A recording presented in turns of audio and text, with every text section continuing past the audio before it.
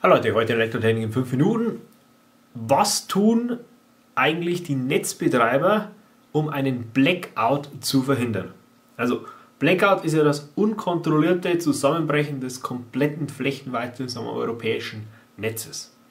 Und was können die jetzt tun, also die Netzbetreiber, die Schaltzentralen, um das zu verhindern?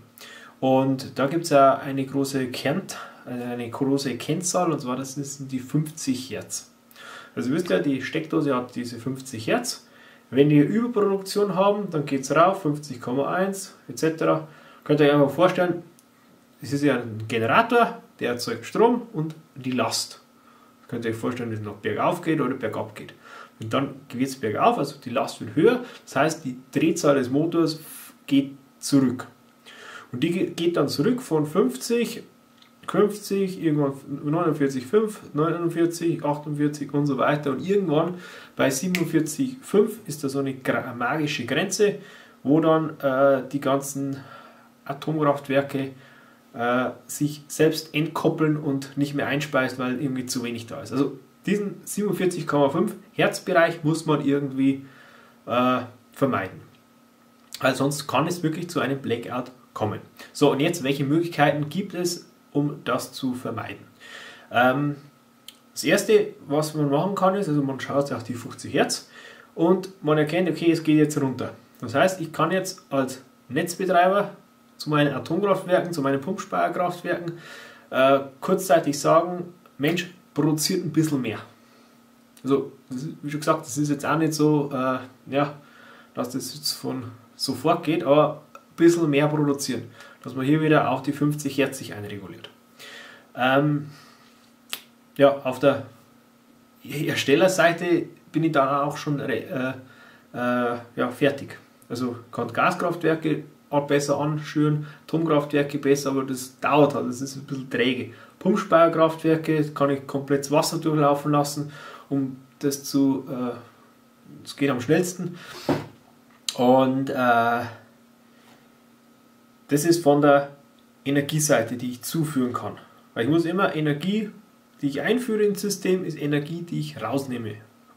So, und als nächstes ist dann das Energie, was ich rausnehme, reduzieren, also Verbrauch reduzieren. Das ist dann das zweite, was ich machen kann.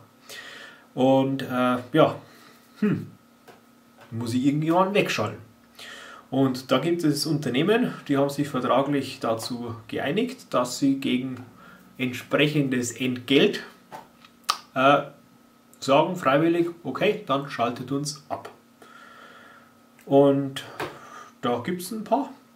Und wenn man das gemacht hat, also man fährt Energie nach oben, versucht die Unternehmen wegzuschalten und dann, dann kommt der interessante Part. Was macht man dann? Und dann geht man her und schaltet äh, Städte ab.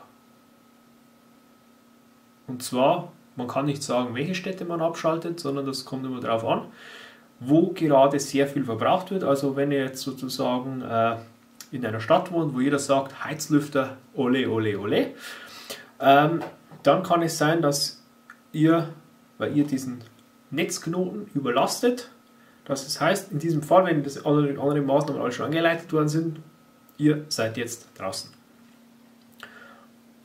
ist dann so. Und ähm,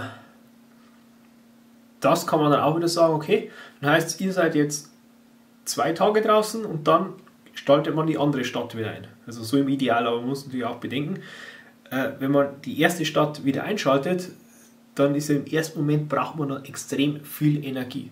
Also das muss man dann auch wieder gezielt machen, unter Tag, wenn PV-mäßig äh, an einem sonnigen Tag, wenn alles geht, dann kann man sowas vielleicht mal riskieren.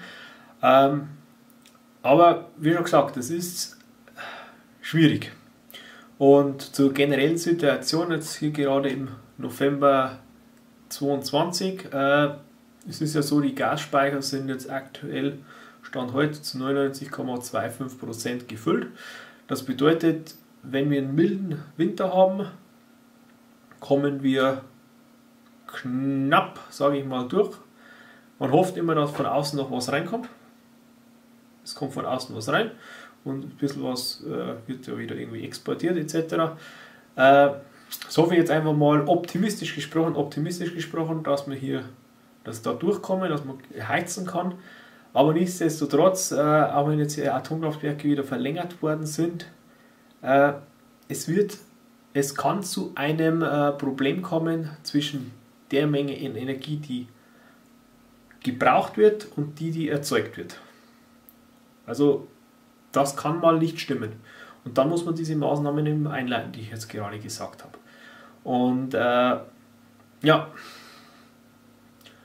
deswegen, was ich immer wieder sage, denkt dieses Szenario mal durch. Also nicht der Blackout, sondern der Brownout, also nur so einzelne Stadt, Städte, sage ich mal, Regionen. By the way, Süddeutschland ist höher betroffen, abgeschaltet zu werden als Norddeutschland. Ähm, und ja, ein bisschen nachdenken, was kann man alles brauchen. Taschenlampe, ein bisschen Energieversorgung, Strom etc. Äh, einfach mal durchdenken, zwei, drei Tage auszukommen. Ich sehe es jetzt, wie ich immer sage, Blackout-technisch noch nicht absolut gefährlich. Also ich verfolge die Zahlen immer, wie es mit dem Gasspeicher ist. Also ich sage mal so, ich werde hellhörig, wenn ich sehe, Gas geht zur Neige, Gasspeicher geht zur Neige und äh, man hat schon Schwankungen mit der Netzfrequenz. Also die schwankt schon massivst. Und dann werde ich äh, schon ein bisschen nervös.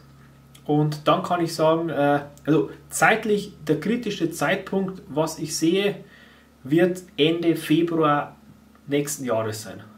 Februar bis Mitte März wird meines Erachtens der kritischste Punkt sein. Da kann am meisten passieren, also Stromausfälle etc. Und äh, ja, jetzt kann ich wirklich nur noch sagen, äh, hoffen wir alle, dass es nicht passiert, dass die ganzen Vorbereitungen brauchen wir nicht, also von dem her, äh, ja, mal ein bisschen optimistischeres Video, was kann ich im, was wird gegen einen Blackout getan, um den zu verhindern. Jetzt wünsche ich euch noch einen schönen Tag, macht's gut, tschüss und auf Wiederschauen. Gerne oben abonnieren, hier geht es weiter mit einem weiteren coolen neuen Video. Macht's gut, tschüss und auf Wiederschauen. So, Ende.